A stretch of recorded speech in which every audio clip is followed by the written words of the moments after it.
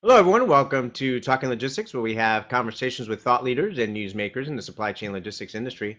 And it's my great pleasure to welcome to today's program Frederic Fimbel, who is the head of logistics customer collaboration and sustainability programs at CHEP EMEA. And today we're going to talk about making transportation collaboration work. And this is one of those topics that is always of huge interest to shippers, um, particularly today as they're trying to look for different ways to mitigate some of the capacity constraints, or they're looking for ways to be uh, more green or more sustainable, um, and really, uh, you know, find new and improved ways to be more efficient and find productivity gains and, and cost savings as well. So, uh, very excited to have uh, Frederic here today with us to, you know, share some of his perspective and success story uh, that he's experienced there at, at CHEP.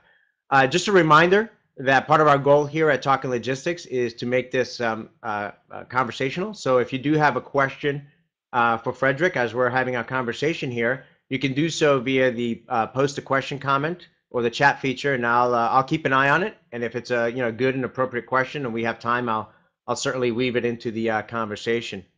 last thing, if you are joining us as a visitor, you will have to sign up first in order to be able to ask a question. So with that, Frederic, welcome to the program. Hi, so good morning, everyone. So I know that in the UK it's the morning, and in Europe I'm uh, calling you from France. It's at the end of uh, the afternoon, but uh, it's really a pleasure to share with you what we've done and our passion for collaboration. Excellent. Well, Frederic, to get started, and kind of before we dive into the topic, you know, tell us briefly about your career path. I mean, how and why did you get involved in supply chain logistics, and, and what's your current role and responsibility there at CHEP? Okay, uh, when I was young, I was really, really interested in optimization and uh, and as well, uh, I had a passion for organization. So once I finished my, my study with my diploma of organization for companies, I enter in transport company to, to, to work on uh, transport organization because I was sure that we could optimize a lot uh, what was engaged in terms of companies transportation role. And it is something I've done during um, 15 years. And the 10 uh, following years, I enter in the 3PL companies, working as well on optimization. And I worked for CHEP for 10 years now on, and uh, I've been a logistic director in France for about eight years. And uh, from uh, 2012, I'm now the head of uh, logistical collaboration across Europe. Really, really. Great, great. I mean, I, I find it interesting that your title has collaboration, you know, in it, which I think is a uh, kind of a testament, if you will, in terms of the focus that you have on, on collaboration. So, so let's start with that. Let's start now by, by providing some, some context, if you will. I mean, I'm sure that many people are familiar with CHEP, uh, but just in case, you know, uh, give us some, you know, an overview of the company and, and your, log your logistics operations there in Europe. So CHEP is a, comp a company uh, from from Brambles and Brambles is now in focus on uh, pooling uh, pooling activities. So CHEP uh, as a pooler, pallet pooler role is to to deliver pallet to the customers. When these pallets are loaded from their good manufacturer, they are delivered to the retailers.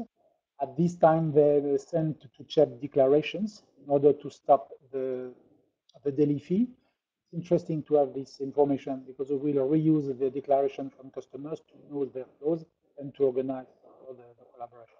Once pallets are empty at retailers, we are collecting this pallet to be inspected or repaired at our plant.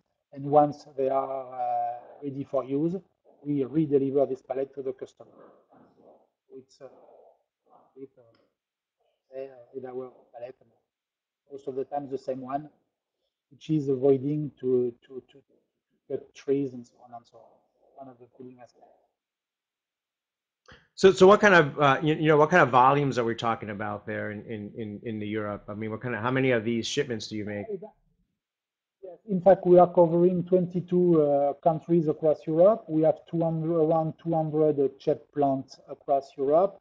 We manage uh, three, if I remember, sorry, 241 million pallets a year. That represents 4,600 trucks per day we are managing uh, all logistics operations from 11 offices across Europe. This, uh, this allows us to deliver 17,000 customers. We collect uh, more than 100,000 retailer locations. Our annual expense is uh, three 330 million dollars uh, for for years, and globally we are managing 1.5 million shipments a year, more or less. Great, great. So you know, certainly a, a, a very large network. You know, a lot of volume. You know, involved there. Um, so let's talk now about you know the collaboration and, and kind of the the collaboration project that you've been uh, involved with. You know, over the past few years there at uh, at CHEP. Can, you give us a, a, a, kind of a brief overview about it and you know how it works and, and the different parties involved? Yeah, but first of all, I should start by the, the definition of collaboration, which can be difficult or simple. So let's go uh, simply if possible. So I should say that the action of working with somebody or with someone to produce something, more or less. Working with, with, with anybody you can you can find, collaborate, it's can it can be considered as collaboration because you are going to produce something. Uh, globally, uh, globally, the, the the goal is to reuse the um, empty miles the customer trucks could have coming back to their factory uh, after, after delivery.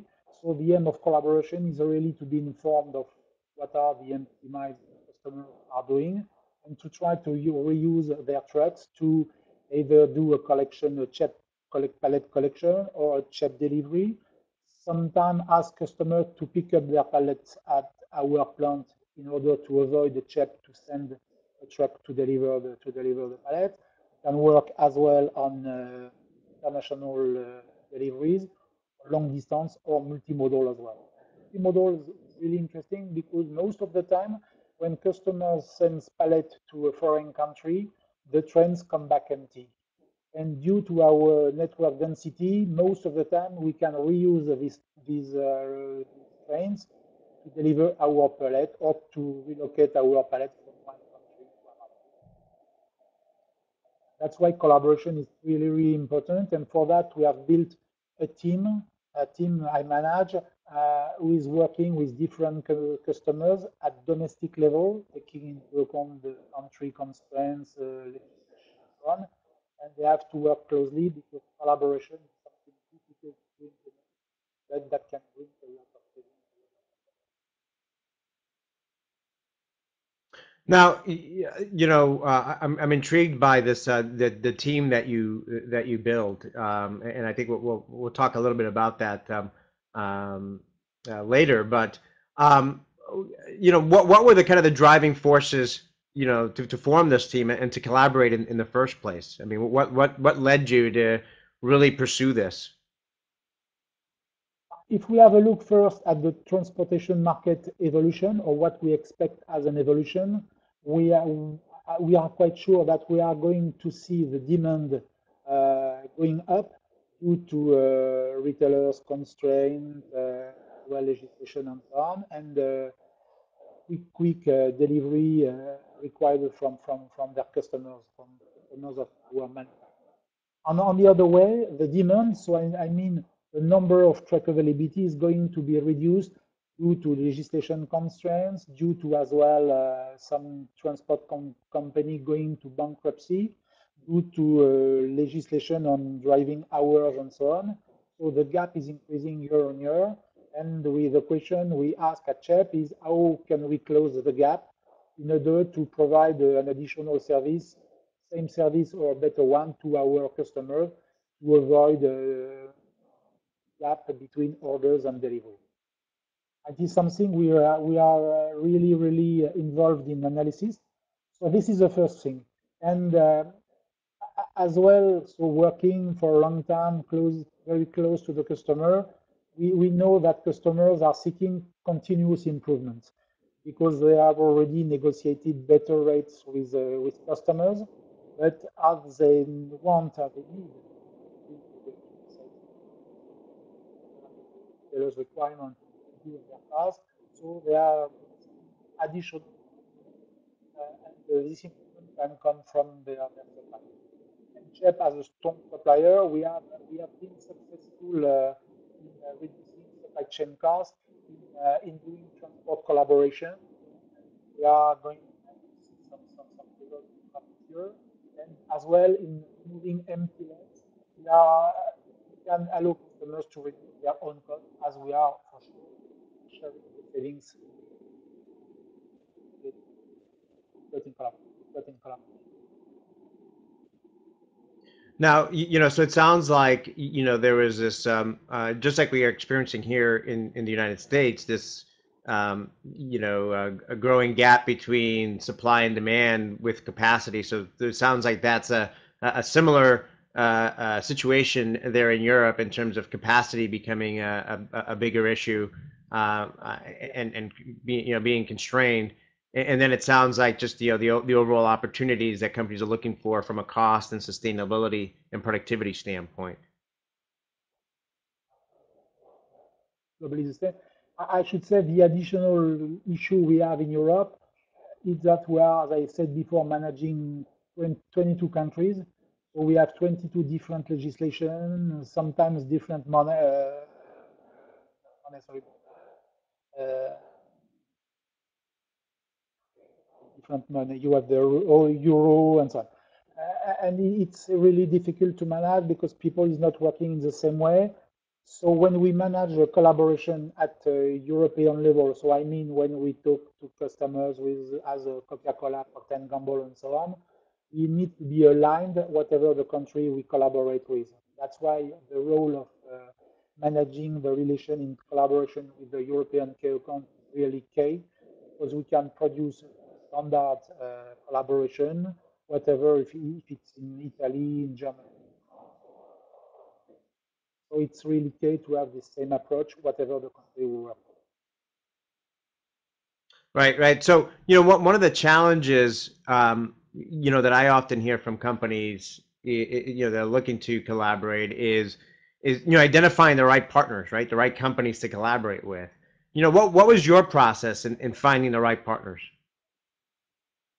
I should say, first of all, both those companies need to be 100% engaged in collaboration. Collaboration is a long way, uh, but if they are not totally engaged in collaboration, collaboration will never happen. We are going to see that we have a different step to, to succeed in collaboration. But if the manage the, the, the, the top management is not engaged, it cannot happen. So uh, how we have identified the, the, the collaboration to collaboratories. So so we have to select the one that are really believing in collaboration. And secondly, we know to, we have to identify what kind of flows can match with CHEP flows. Because we talk uh, on collaboration, but once it is done, we need to prove that this is feasible.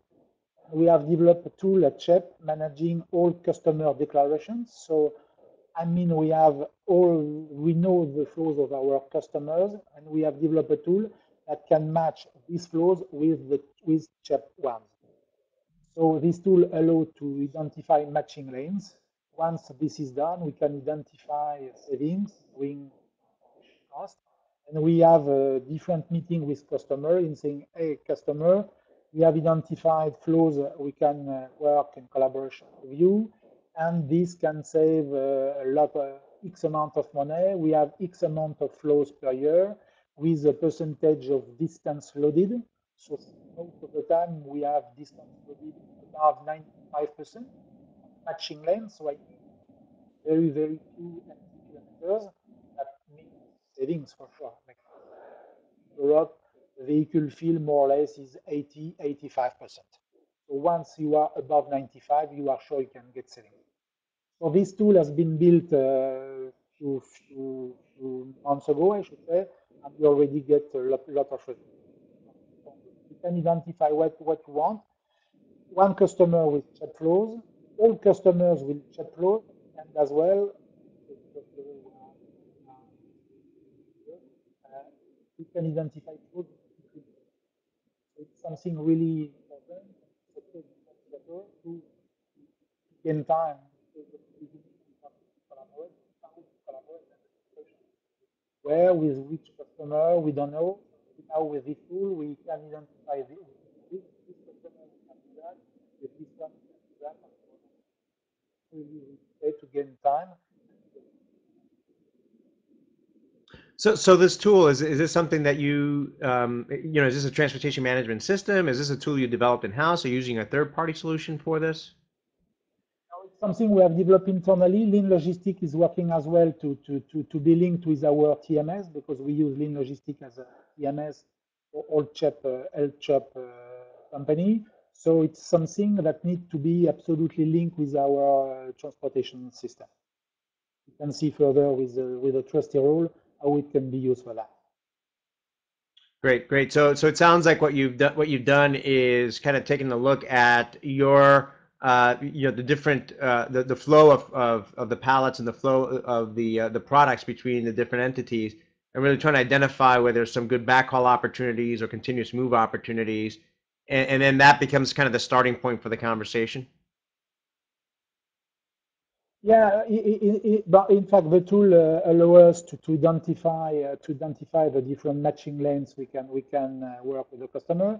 We have standard organization which which uh, which includes five different steps. The first one, as we have just said, is to identify the flow and to present to the customer our strategy in terms of collaboration. We have a team, we have an organization, we have tools, and we are really working on collaboration since five years. And the, the third step is what we call the negotiation.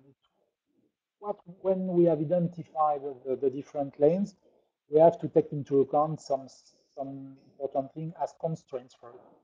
This customer use uh, refrigerated trucks. It's very difficult for us to use it because we need uh, uh, trailers with a curtain side in order to load the maximum of pallets. So sometimes frigo, frigo trucks are not, are not allowed as well delivery constraints. Uh, to make to make a round trip, we need to match all the constraints in order to see if it's feasible or not. We cannot deliver at night and load uh, 12 hours. we have a lot of constraints, and this take, take a lot of time. Once we have identified that, we make a tender with the customer in order to find the best the, the best rate with the different carriers. And once this is done, we can start a pilot when, when pilot is done and check the, the quality, we check the cost, it's aligned with our application, and after that, start the second. So the five main steps of the collaboration. Yeah, no, those are, uh, you know, so it sounds like you, you've really, you know, um, obviously with all the years of experience that you have doing this, you know, have identified those, those five key, you know, those five key steps. So, you know, uh, what is the what's been the net result? You know, what have been some of the the benefits or some of the the um, you know achievements that you've accomplished over the past few years? Uh, we are we we have more or less uh, six, uh, I should say six um, main main topics because uh, to to to to get okay, I'm. So, so we, we have six main topics, I should say. First is improved truck, truck utilization. Uh, and, and for sure, we have, a, we have a cost reduction, which is linked with the use of, of this better truck utilization. So customer satisfaction is uh, one of the key, key things, important things. CO2 reductions, and uh, as well ensure capacity during the peak period. And it's the case in summer in, in Europe when we have a lack of truck. When we've already built a round trip on a day-to-day -day basis, for sure we, we, can you can cover the, the, the, peak period without any issue. And this is uh, very, very, important to deliver on time and customers. And for sure, we extend the partnership with our customer because allowing them to reduce their cost, to increase their, their service level, and to and to get satisfied for sure it's we we build we come from a supplier position i should say to uh, to a partner position which is absolutely key for our for our business so in terms of uh, result we've got uh, last year uh, so we, we we started collaboration with 76 different customers across Europe representing uh, 254 lanes and that is representing as well 53,000 different shipments. Uh, in terms of uh, avoidance of empty distances, we have saved 2.8 kilometers one year across Europe. That's lead to uh, CO2 emission 2.6, uh, 2,600 tons of CO2 emission, which is great for sure. This is our global result. For sure, we've got as well in terms of, uh, of savings,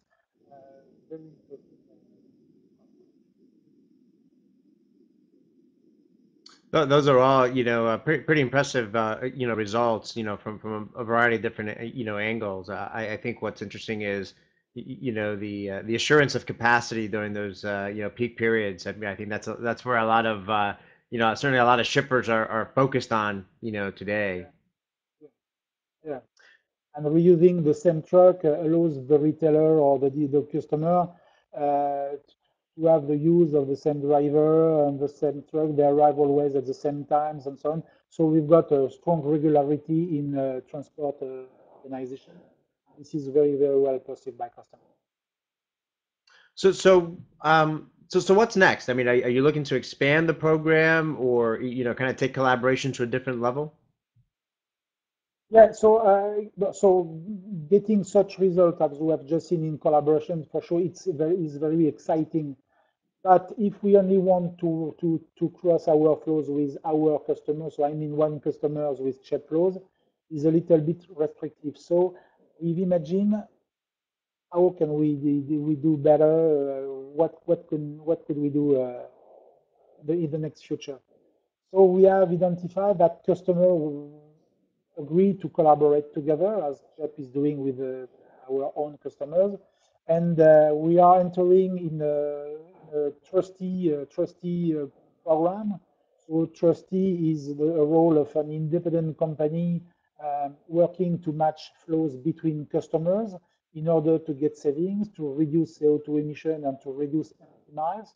So the, the, the, the opportunity CHEP have knowing uh, all, all customer declaration is very, very well perceived by, by our customer because we know all our customer flows and using the new tool we've developed is very useful for us to say to a customer, hey customer, you can you can have a matching lanes from this country to this uh, one with uh, this with this customer or with this other one. You have a strong, strong opportunity. And we have started to, to play this uh, role. So it's now stage to identify with a FMCG manufacturer in Europe to work with all CHEP customers to identify new lanes, matching lanes, and working well because yeah, we have identified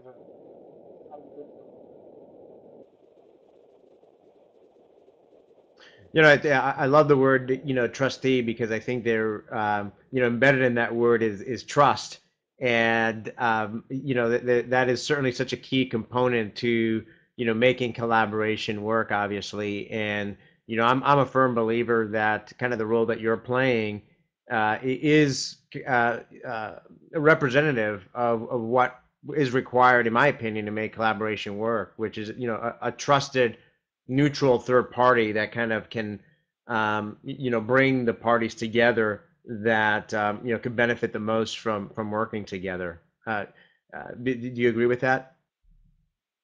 Yeah, yes, and you're totally right in saying that trust is one of the key words in, in collaboration. So I should say that two words are really important in collaboration. So trust and engagement.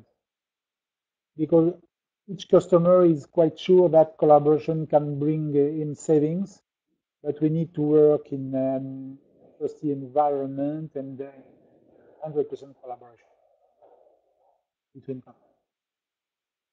You know, we, are kind of getting short on time here, but uh, before I wrap up, I want to kind of go back to a comment you made earlier about putting together that kind of uh, collaboration team. Um, you know, as kind of a, one of the, the key enablers really of, of getting this started. Uh, just kind of curious. I mean, who's involved in that team? Is it is it uh, people from CHEP? It, does it involve uh, the customers as well? Just trying to get a sense of you know how that team comes together, who's represented, and, and what are the, the main role and responsibility of that team? Well, I should say that first of all, uh, both supply chain team are working very closely together uh, because as we, we said before, collaboration is a long way and we need to be engaged. So to be engaged, we need to have team 100% engaged. So globally, if we talk about uh, a European key account, for example, okay, but we need to into bracket to send them our collaboration program, what we have uh, what we have already experienced in terms of collaboration with other customers, and we ask the customer to to dedicate to, to dedicate a specific team in each country working with uh, their counterparts at CHEP level in order to work closely and very very quickly as well. Because it takes time to, to collaborate with. And once each team has been built, so we have the customer to, to build uh, European, European team by region or by country, it depends. I remind you that we are managing 22 countries, so it's not so, so easy. So uh, we have at CHEP level, we have people dedicated in each country to work with, the customer, with their counterpart at, at uh, customer side. And my role is to manage all the team and to ensure that in each country we are doing the same way. We are 100% uh, engaged. We have already a result. And if, if we have some blockers, whatever the, we out, so it's then our role is to ask the customer to be involved more, CHEP as well, to, to the, the country managers, to be focused on collaboration. Because at CHEP, we are as well convinced collaboration is a strong role as a partner with. We want to be. We want to be. Great. We well, have a lot of many a lot of parties involved. Great. I mean, I think um, you know, I, I, think obviously part part of that engagement is is uh, you know ongoing communication, uh, obviously to um, you know make sure that uh, these programs are moving uh, eff effectively forward, and and of course when any kind of issues or, or uh, problems come up to you know be able to overcome them uh, you know quickly and, and efficiently. So you, you, know as a way to uh, wrap up, I mean, what advice would you give to to shippers that, that are interested in, in, in transportation collaboration? I mean, what, what's what's kind of the first steps or first steps they should take? Yeah. So first of all, I should I, I should say, yeah, as we have already said, sorry, but once more, they, need to, to be convinced that collaboration can bring them additional savings or additional service level, I should, I should say. And, uh, and as well, that first, they have to know their flows, but I'm quite sure that each company don't know their flows, and they know the, their, their empty lanes. They are convinced, most of the supply chain guys knows that they can improve their supply chain. And if yes, if they are uh, they trust, if they are convinced, they can they can um, ask their uh, either their supplier or or their 3PL. Why not? Because we always collaborate uh, with, with 3PL at a, at a European level because they manage flows, trucks, and so on. And sharing our flows most of the time brings brings savings in service level. So be convinced that this can be feasible. Savings we can demonstrate to, to anyone that we each time we, we get savings and uh, and uh, most of the time select the, the, the, best company able to provide them uh, these, uh, these different opportunities. Great, Frederic. Um, you know, as I always say uh, uh, on these programs, you know, we, we always manage to scratch the surface and um, you know, on this topic. I'm sure we could continue talking for another hour or two on on uh, your various aspects yeah. of uh, transportation collaboration. But you know, this has been a, a great start to the conversation. Um, so I appreciate you taking time out of your schedule, especially uh, on, on, an afternoon, uh, to uh, share your thoughts and perspective on this topic.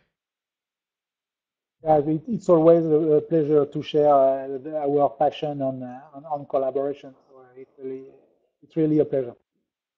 Great, and, and thank you for those of you that joined us today. And um, if you are joining us on demand, watching this program on demand, and you do have a question for uh, Frederic, you can find this episode on talkinglogistics.com and, and post a question or a comment there. And I'm sure Frederic will be uh, you know, happy to respond via that platform.